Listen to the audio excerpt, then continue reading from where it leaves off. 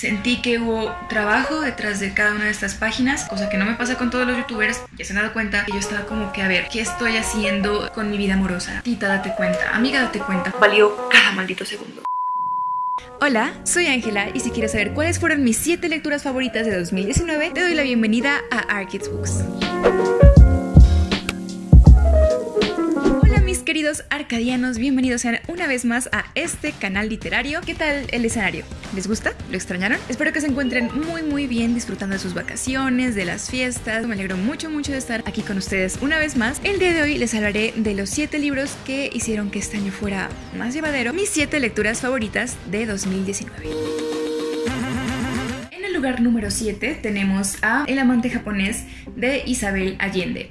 Este libro me lo había recomendado uno de mis suscriptores, como su título lo insinúa, es una novela de romance, pero no se queda solo en eso, también tiene varios matices de historia, tiene un contenido crítico hacia la sociedad y se entrecruzarán en esta historia principalmente dos tramas, que son la de Alma y la de Irina. A principios de la Segunda Guerra Mundial, Alma se ve obligada a marcharse de su tierra natal, que es Polonia, para irse con unos tíos que viven en San Francisco, California. Y en ese lugar ella conoce al hijo de los jardineros, de ese enorme casa en la que viven que se llama Ichimei y entre Ichimei y Alma desde que se conocen cuando son niños hay una química que llama mucho la atención al lector y sobre todo cómo se va desarrollando ese romance a lo largo de esta historia. La segunda trama nos lleva a cuando Alma ya tiene 84 años, 80, bueno, 80 y algo años y se va de su casa para irse a internar a un lugar en el que residen ancianos. Ella dice que se siente mucho mejor allí y es en este lugar en el que conoce a Irina, que pasa a ser como su cuidadora. Es una historia que nos muestra una personaje que es muy audaz, es muy activa, tiene mucha energía y está dispuesta a seguir viviendo las aventuras que la acompañarán desde su niñez cuando conoció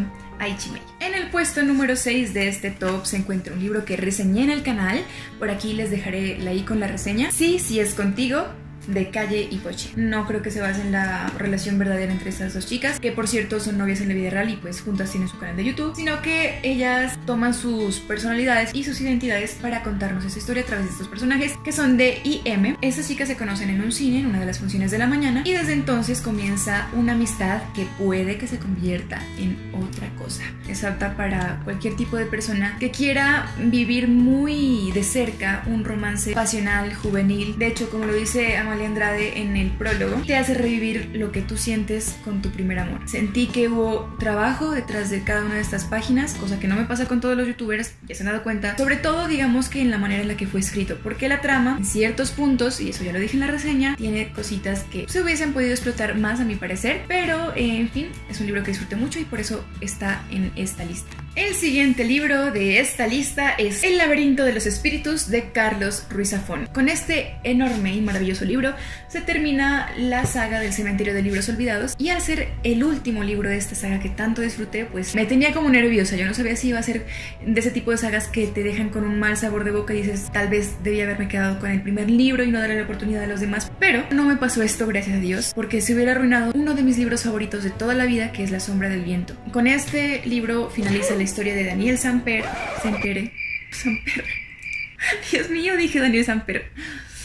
Daniel Sempere, y la de todo este mundo que gira alrededor de los libros, de la literatura, de escritores, de lectores. Fue un thriller muy chapado a la antigua y pues trae un nuevo personaje. Me sonaba a mí que iba a ser forzado, pero no lo fue en absoluto. A mi parecer todo encajó en su lugar y me dio un final que sin advertirles a ustedes si fue feliz o triste, me agradó mucho y esta saga la recomiendo muchísimo, excepto El prisionero del cielo que estuvo en mis menos favoritos del anterior año. Si les gusta la literatura o quieren un libro que esté escrito de una forma en la que ustedes puedan disfrutar el mero hecho de sentir el poder de la literatura al ser receptores de la magia de las palabras de Carlos Ruiz Zafón. Y eso que no me pagan por hacer publicidad, ¿se imagina que me pagaran por hacer publicidad? En el puesto número, no lo sé, ya perdí la cuenta, lo verán aquí en pantalla, tenemos a Ángeles Mastreta con Mujeres de Ojos Grandes. Estos relatos son narrados por diferentes mujeres encarnadas en diferentes cuerpos, en diferentes historias de amor, sexualidad, roles de género, la familia, la relación conyugal, que son una radiografía bastante acertada de la sociedad en la que vivimos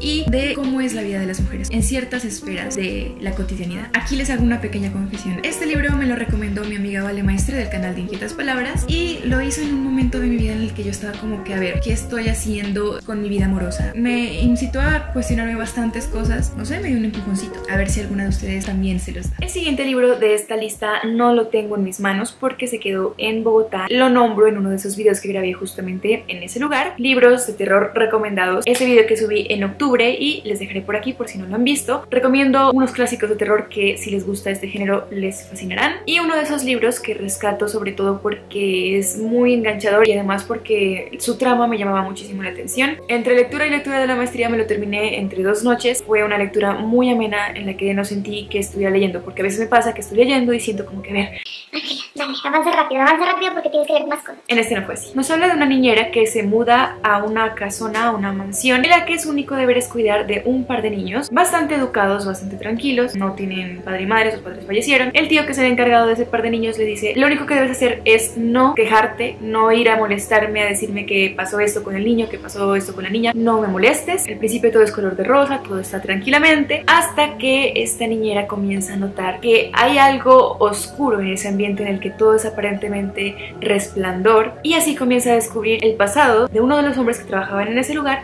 y de la anterior niñera, cuál fue el destino de ese par de personas y cómo está influyendo en este momento de su vida en el cuidado de ese par de criaturas desprotegidas. Ahí les dejo la inquietud para que ustedes lo descubran, pero si les gusta el suspenso, este libro les encantará. Thank You Next, en el penúltimo lugar de este top, está Laura Esquivel con Como agua para chocolate, que tiene una adaptación en película que me gustó, pero no tanto como el libro. El libro es fascinante, aunque suene un poco cliché. Hace muchos, muchos años vi esa película, incluso cuando aún no tenía la edad para ver ese tipo de contenido. Y querido YouTube, te informo, estoy viva. En fin, yo todavía tenía bastantes recuerdos sobre esa historia que vi en aquel entonces, que me gustó mucho, me pareció muy romántica y me estoy dando cuenta de que muchos de esos libros que he mencionado son románticos. Ok, pero todos son originales, no es cualquier romance y a veces el romance es un ingrediente que le da algo más. En este caso, lo que me parece genial de este libro y lo que me incitó a leerlo es que cada uno de los capítulos tiene una receta. Por ejemplo, en febrero es pastel chabela.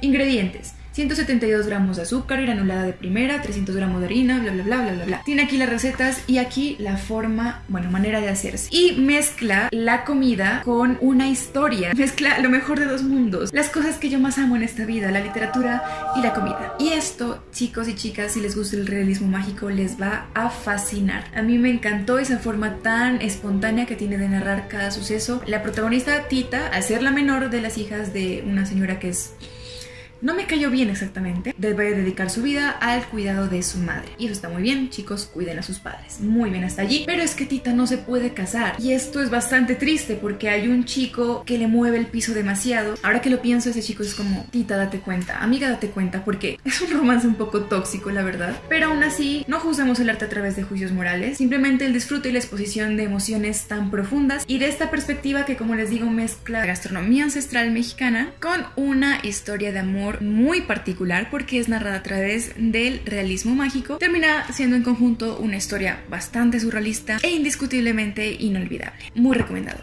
En el primer lugar de este top, estoy contenta porque voy a alcanzar a grabar antes de que se oscurezca eso totalmente.